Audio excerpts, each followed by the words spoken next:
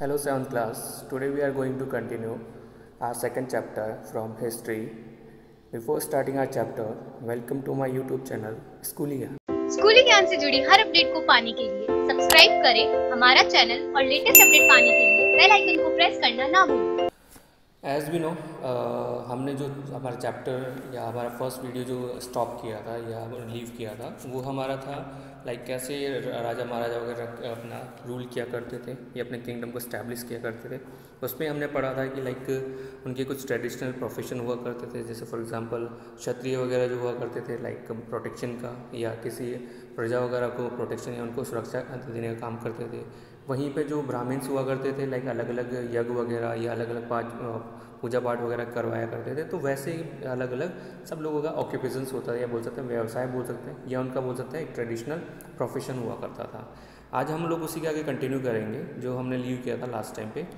जैसे दिया हुआ इसमें do you think being born as Kshatriya was important in order to become a ruler during this period मतलब क्या बोल रहा है कि आ, क्या आपको लगता है कि जो क्षत्रिय इस इस टाइम पे बॉर्न हुए थे या जन्म जिन्होंने जन्म लिया तो उनका इंपॉर्टेंट मतलब like for example next ruler बनना या नेक्स्ट पर्टिकुलर राजा बनना वो इस पीरियड के अंदर ज़रूरी था या ऐसा इंपॉर्टेंट है? तो इसका आंसर मे बी अगर हम लोग बोलें कि लाइक यस क्योंकि मे बी क्या होता था स्टार्टिंग में एंशियन टाइम की बात करें तो उस टाइम पे राजा का बेटा ही राजा बना करता था। जैसे हम लोग स्टार्टिंग से हिस्ट्री के बारे में पढ़ते आए हैं या हम लोग मूवीज़ वगैरह में देखते हैं। इसके आगे हम लोग कंटिन्यू करेंगे कि administration in the kingdom kingdom के अंदर एडमिनिस्ट्रेशन कैसा था? ओके स्टूडेंट एक इंपॉर्टेंट थिंग जो मैं आपको बताना चाहूँगा, वो ये कि जो भी इसमें से हार्ड वर्ड्स होंगे मतलब हमारा चैप्टर जो अभी चल रहा है या वॉट एवर नेक्स्ट चैप्टर जो भी चलेगा तो उसके जो भी हार्ड वर्ड्स होंगे, जो भी लगता है मुझे कि आप लोगों को इसका मीन्स नहीं पता होगा या इसका मीन्स नहीं जानते होंगे तो इस चीज़ का जो पर्टिकुलर वर्ड है हार्ड वर्ड का मीन्स जो है, मैं जो डिस्क्रिप्शन बॉक्स जो है यूट्यूब का, उसमें मैंशन कर दूँगा तो वहाँ से आप लोग क्या करना लाइक राइट डाउन कर लेना या उसके बारे में देख लेना कि लाइक क्या इसका मीन्स होता है या पर्टिकुलर हमारे इस चैप्टर में क्या उसका मीन्स लिया गया है, या क्या उसका यूजेज लिया गया है। तो स्टार्ट करते हैं आगे। तो एडमिनिस्ट्रेशन इन किंगडम्स की बात करें हम लोग तो उसमें दिया हुआ है many of these king kings adopted high sounding title such as maharaja adhiraja great king overlord of kings मतलब क्या होता था कि लाइक जिस टाइम पे राजा महाराजा हुआ करते थे तो उनको अलग अलग टाइटल से जाना जाता था या अलग अलग टाइटल उनको दिया जाता था। फॉर एग्जांपल के लिए यहाँ पे दिया हुआ है, महाराजा अधिराज मतलब महाराजाओं का राजा मतलब कहने मीन्स राजाओं का भी राजा, ठीक है? जिसमें हम इसमें आगे इंग्लिश के अंदर उसको मैंशन किया गया ग्रेट किंग महान राजा या overlord of kings overlord of king मतलब वही राजाओं के ऊपर जो सब महान होता है उसके लिए। फिर दिया हुआ है नेक्स्ट त्रिभुवन चक्रवर्ती, ठीक है? ये भी सेम वही है। Lord of the three worlds मतलब थ्री वर्ल्ड्स मतलब जितने भी थ्री वर्ल्ड्स हैं, तीन संसार हैं, उन संसारों में उनका बोल सकते हैं लाइक हेड बोल सकते हैं या उसका सबसे हाईएस्ट तो मतलब कहने मीन्स खुद को अलग अलग टाइटल से ये लोग नवाजा करते थे या अलग अलग टाइटल दिया करते थे, उसी के बिहार पे इनको जाना जाता था या बोला जाता था। फिर आगे दिया हुआ है एंड सो ऑन ठीक है? मतलब सिर्फ़ यही टाइटल नहीं, बहुत सारे टाइटल्स हैं जिसको हम लोग अगर डिस्कस करना चाहें तो मे बी एक पर्टिकुलर अलग से पैराग्राफ बन जाएगा या एक चैप्टर बन जाएगा। तो ऐसे कई सारे टाइटल थे जिसमें से दो तीन आपके सामने मेंशन किए गए हैं। फिर next however in spite of such claims they often share power with their samantas as well as with association of peasants traders in Brahmans मतलब क्या बोला गया है कि ये लोग इतना महान होने के बाद में, या फिर बोल सकते हैं इतने महान नाम रखने के बाद में या टाइटल लेने के बाद भी क्या थे? अपनी जो पावर थे, वो शेयर किया करते थे, या मतलब शेयर से मीन्स बांटना, ठीक है? अब यहाँ पे बांटने से मतलब ये नहीं कि लाइक फॉर एग्जांपल उन्होंने अपना किंगडम दे दिया, या फिर बाद में अपनी पावर वगैरह जो है लाइक लीव कर दी, या उसको बोलते हैं लाइक छोड़ दिया। ऐसा कुछ नहीं। वो क्या करते थे? अब क्योंकि नॉर्मल राजा जो होता था, पूरे किंगडम पे क्या नहीं करता था? राज कर सकता था। या बोल सकते हैं, राजा जो है ऑल ओवर कंट्रोल नहीं कर सकता था। तो उसने वो क्या करता था? अपने नीचे का, काम करने वाले जो भी अधिकारी वगैरह होते थे या बोलते हैं कलीग्स बोल सकते हैं तो वो सारे क्या करते थे उनको अपॉइंट किया करता था। जिससे इसमें बोला गया कि वो पावर जो शेयर करता था वो कौन कौन थे उसमें सामंत हुआ करते थे ठीक है जो कि ऑल लुक आफ्टर किया करते थे राजा के बाद में पूरे किंगडम को। फिर उसके बाद में बोला गया इसके साथ साथ कुछ ऐसे एसोसिएशन भी है।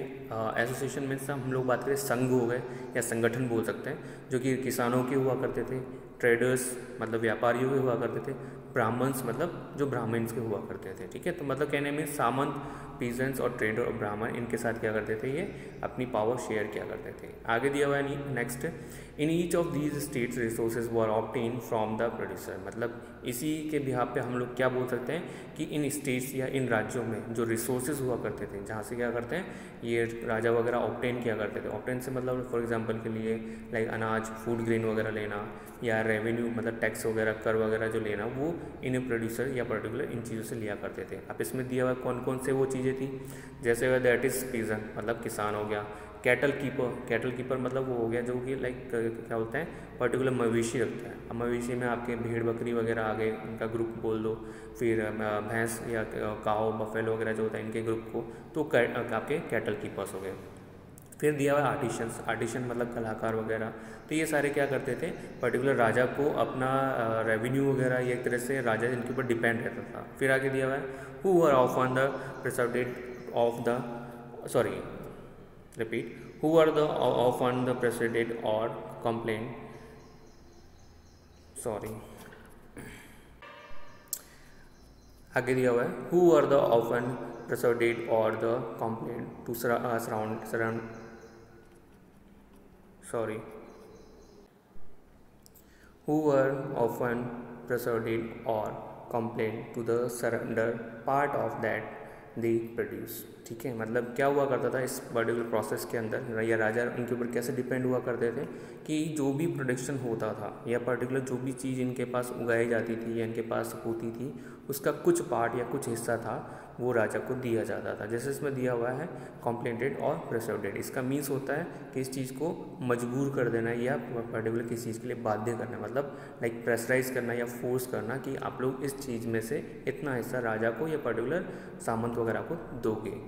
फिर आगे बोला गया sometimes these work claimed as rent due to the lord who arrested that he owned the land ठीक है? कब कई के बार क्या होता था कि इसमें एज अ रेंट के रूप में, या बोल सकते हैं एज अ हम लोग बोले लगान के रूप में या कर के रूप में जो था, उनको राजा वगैरह को दिया जाता था। उसके पीछे कारण क्या था कि who arrested that he owned the land क्योंकि वो खुद के जो लैंड हुआ करते, ज़मीन हुआ करते थे, वो उसके बिहार पे राजा वगैरह उनसे ऐसा कर या ऐसा बोलते हैं लाइक जुर्माना बोल सकते हैं, या लगान वगैरह लिया करता था। मतलब कहने में से हो गया कि उस टाइम पे सबसे पावरफुल जो होता था, राजा होता था, ना कि किसान होता था। फिर आगे दिया हुआ है revenue was also collected from the traders इसके साथ साथ क्या बोला गया है कि जो कलेक्टर्स होते थे कलेक्टर मतलब पर्टिकुलर हम लोग बात करें यहाँ पे कलेक्ट का मीन्स होता है इकट्ठा करना। तो रेवेन्यू जो होता था, वो भी क्या ट्रेडर्स होते थे, व्यापारी जो होते थे, उनसे ली जाती थी। मतलब कहने मीन्स क्या बोला गया कि कर वगैरह भी उस टाइम पर लागू किए जाते थे। अब यहाँ पे कुछ कर वगैरह दिए हैं हमारे नीचे वाले बॉक्स में, जिसमें दिया हुआ है फोर हंड्रेड टैक्सेस ठीक है कौन कौन से टैक्सेस है, वो देखते हैं। अब इसमें दिया हुआ है the inscription of the Cholas who rule in the Tamil Nadu refer to more than four hundred terms for the different kind of taxes मतलब क्या बोला गया है? चोला जिस टाइम पे रूल किया करते थे, या चोला ये पर्टिकुलर डायनेस्टी है, वो जिस टाइम पे रूल किया करते थे तमिलनाडु के अंदर तो बताया गया है कि वहाँ पे इंस्क्रिप्शन हैं मतलब आपके अभिलेख वगैरह लिखे गए मतलब फॉर एग्जांपल स्टोन पत्थर पे कुछ लिखा हुआ होना, या केव्स वगैरह पे लिखा होना तो उसमें बताया गया कि अप्रोक्स 400 या मोर देन 400 जो है टैक्सेस लिए जाते थे, ठीक है? जिसमें से कुछ टैक्सेस के बारे में यहाँ मैंशन किया गया है। जैसे दिया हुआ the most frequently mentioned tax is vetti ठीक है? मतलब अगर हम लोग बात करें, ज़्यादा टैक्स जो लिया जाता था या मेन जो टैक्सेस है, उसमें से पहला टैक्स इसमें बताया गया वेटी और ये किस लिए था? Taken not in a cash but in the form of the forced labour ठीक है? यहाँ कैश के रूप में या पैसों के रूप में या मनी वगैरह नहीं ली जाती थी। यहाँ पे क्या होता था कि इनको मजदूर के रूप में काम लिया मतलब कहने में इसको, इनको फोर्स किया जाता था कि आप लोग यहाँ लेबर के रूप में या मजदूर के रूप में काम करोगे। फिर आगे दिया है, कादमाई, जो कि पर्टिकुलर लैंड रेवेन्यू हुआ करता था। फिर नेक्स्ट चीज़ इसमें there were also taxes on the thatching the houses इसके साथ साथ अगर कोई छत डालना चाहता है मतलब पर्टिकुलर जैसे आज हम लोग बात करें कंस्ट्रक्शन वगैरह होता है तो छत वगैरह हमारे, अगर हम लोग अगर डालते हैं या फिर आदमी कंस्ट्रक्शन करवाते हैं तो हमारे लिए कोई टैक्स वगैरह नहीं लेते हैं. लेकिन उस टाइम पे क्या था कि कोई पर्टिकुलर कोई मजदूर है या कोई भी कैटेगरी है, राजा से नीचे वाला तो अगर वो घर बनाना चाहता है तो उसके से टैक्स वगैरह या पर्टिकुलर रेंट वगैरह के रूप में उनसे कुछ लिया जाता था. इसके साथ साथ बोला गया है the use of ladder to the climb palm tree इसके साथ साथ जो पाम ट्री हुआ करते थे, उसके ऊपर चढ़ने के लिए जो सीढ़ियाँ होती थी, ठीक है? या बोल सकते हैं लैडर्स हुआ करते थे, उसके लिए भी टैक्स लिया जाता था। तो आप सोच सकते हो कि कहाँ कहाँ टैक्स एप्लीकेबल था, राजा के थ्रू लगाया जाता था।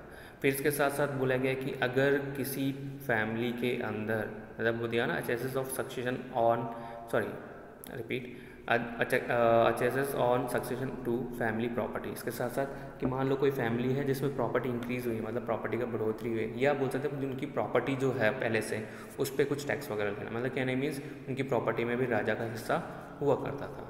फिर आगे दिया हुआ है are any such taxes collected today मतलब ऊपर जो टैक्सेस दिए गए हैं, कुछ एग्ज़ाम्पल या जो कुछ कर वगैरह बताए गए हैं, क्या उनमें से कुछ टैक्सेस अभी भी हमारे से लिए जाते हैं या कलेक्ट किए जाते हैं? तो ऑब्वियसली हम लोग बोलेंगे नहीं, ऐसे नहीं लिए जाते बट डिफरेंट काइंड्स के टैक्सेस लिए जाते हैं, जो कि नॉर्मल हम लोग अलग अलग प्रोडक्ट या अलग अलग चीज़ें काम में लेते हैं, उनसे बिलोंग करते हैं. जैसे इसमें दिया हुआ next these resources were used to finance the king's establishment as well as for the construction of temples and the forts मतलब क्या बोला गया इसमें? कि ये जो टैक्सेस लिए जाते थे मतलब ऊपर वाले जो टैक्सेस लिए जाते थे वो सारे सारे टैक्सेस किस आ, इसका किसमें हेल्प आता था? कि राजा की जो फाइनेंशियल पोजीशन हुआ करती थी। फाइनेंशियल पोजीशन से मतलब कि राजा कैसे लाइक उसके पास पैसा होगा या उसके खजाने में पैसा कहाँ से आएगा? ये सब चीज़ें जो है वहाँ से स्पेशली इसको यहाँ से पावर वगैरह या बोल सकते हैं इसको यहाँ से पैसे वगैरह मिला करते थे वो टैक्स या बोल सकते हैं रेंट वगैरह के रूप में। इसके साथ साथ अगर बात करें तो इसका जो टेम्पल्स और जो फोर्ट होते थे मतलब मंदिर और जो इनके बोल सकते हैं लाइक अलग अलग जो महल वगैरह हो, होते थे या बोल सकते हैं इनके अलग अलग वो बोलते हैं लाइक मकान होते थे फोर्ट्स होते थे उनका जो खर्चा था वो भी यहीं से निकलता था। Agadianacs they were also used to fight wars which were in the turns expected to the leads of ex extensions of wealth in the forms of the plunder as the access to land as well as the trade routes ठीक है? मतलब इसके साथ साथ ये fight मतलब war वगैरह भी किया करते थे जो कि किसके रूप में आ, लड़ते थे जिससे उनको लगता था कि हमारे को उससे कुछ पैसा मिलेगा या वहाँ से जो भी लूटा हुआ सामान है उससे हमारी वेल्थ बढ़ेगी। मतलब कहने मीन्स उनकी इकोनॉमिकल कंडीशन या फाइनेंस फाइनेंस कंडीशन क्या होगी? इंक्रीज़ होगी। अब इसके अलावा बोलेंगे कि access to the land as well as trade routes इसके साथ साथ उनकी जो लैंड वगैरह जब हुआ करते थे मतलब जो ज़मीन हुआ करती थी तो उसको एज अ ट्रेड रूट्स के रूप में ट्रेड रूट्स मतलब व्यापार वगैरह करने जाना हो तो उस रूट मतलब रास्ते के रूप में काम में ले लिया, या डिफरेंट डिफरेंट वेज में वो उस रूट को काम में लिया करते थे। फिर नेक्स्ट दिया गया है इसके अंदर in the sorry repeat in what ways was this formation of administration different from the present day system मतलब अगर आज की हम लोग बात करें तो ये आज के टाइम के, या बोलते हैं आज के समय से कैसे हमारे एडमिनिस्ट्रेशन सिस्टम से बिल्कुल अलग है, या सीधे सीधे बोलें तो आज का जो एडमिनिस्ट्रेशन सिस्टम है, वो पहले वाले एडमिनिस्ट्रेशन सिस्टम से कैसे डिफरेंट है। और एडमिनिस्ट्रेशन मतलब प्रशासन मतलब कैसे कोई रूल करता है तो उस चीज़ से अगर हम लोग कंपेयर करें पहले और अब के में तो ये कैसे अलग अलग है तो हम लोग बोलेंगे बहुत अलग है, बहुत डिफरेंस है। पहले किंगशिप हुआ करती थी मतलब राजा और राज किया करता था। आज के टाइम पे हमारे यहाँ कौन है? प्राइम मिनिस्टर प्रेसिडेंट वगैरह है मतलब कहने मीन्स डेमोक्रेसी मतलब लोकतंत्र लोग यहाँ पर रूल करते हैं।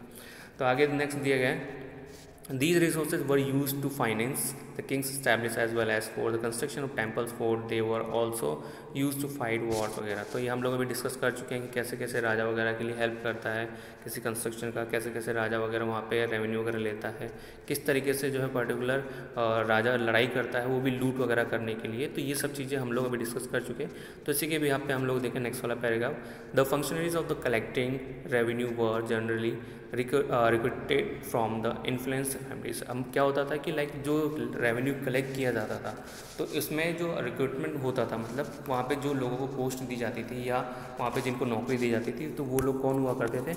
इन्फ्लुएंसल फैमिली से। मतलब वो लोग जो कि प्रभावशाली हैं मतलब राजा से काफ़ी ज़्यादा इंस्पायर्ड है, काफ़ी इन्फ्लुएंस है वो उन्हीं फैमिली से उनको क्या किया जाता था? अपॉइंट किया जाता था, ताकि क्या हो, एक ट्रस्ट बना रहे, एक विश्वास बना रहे कि वो लोग जो जो भी रेवेन्यू कलेक्ट करेंगे, वो सीधे सीधे हमारे को ला कर देंगे और उसमें कुछ भी हेर फेर नहीं करेंगे। मतलब कहने में उसमें कुछ भी घपला नहीं करेंगे, ठीक है? फिर नेक्स्ट दिया गया and the position were of on hereditary और उनकी पोजिशन जो हुआ करती थी, कैसे हुआ करती थी? हेरिडेटरी अब हेरिडेटरी मतलब होता है वंशानुगत मतलब एक के बाद एक, जैसे फॉर एग्जांपल एक फैमिली में किसी को कलेक्टर रेवेन्यू बना दिया, या रेवेन्यू कलेक्टर बना दिया गया तो उसके बाद नेक्स्ट उसका बेटा बन गया, फिर बेटा को मर गया तो उसके बाद नेक्स्ट वाला बेटा मतलब कहने में इस पर्टिकुलर फैमिली वाइज क्या होना, या फैमिली टू फैमिली क्या होना, उन पोस्ट को बनाए रखना। इसीलिए आगे दिया हुआ है this was true about the army as well as मतलब जैसा एक रेवेन्यू कलेक्टर के लिए हुआ करता था, वैसा ही सेम किसके साथ होता है? आर्मी के साथ भी मतलब फॉर एग्ज़ाम्पल एक फैमिली में कोई आर्मी मैन है तो नेक्स्ट जो बनेगा तो उसका बेटा ही आर्मी मैन बनेगा। ठीक है तो ये पर्टिकुलर आर्मी में भी ऐसा हुआ करता था। In many cases close the relative of the kings have these position अगर हम लोग कई और केसेस की बात करें या और चीज़ों के लिए बात करें तो उसमें राजा के साथ या राजा के जो बोल सकते हैं लाइक फैमिली में से कोई या रिलेटिव में से कुछ होता था, उनको ये पोस्ट दी जाती थी। इन शॉर्ट में में बात करें तो राजा के नियरेस्ट जो भी लोग रहते थे या नियरेस्ट जो भी पर्सन हुआ करते थे, उनको ही ये पोस्ट दी जाती थी रेवेन्यू कलेक्ट करने की। ताकि क्या हो, राजा के साथ कोई भी विश्वासघात या बोल सकते हैं पर्टिकुलर कोई भी इनके साथ गलत चीज़ इनके साथ ना हो। आज के लिए सेवन्थ क्लास यहीं तक। बाकी हम लोग कल या नेक्स्ट जो क्लास के अंदर हम लोग लेंगे, उसके अंदर कंटिन्यू करेंगे। Thank you very much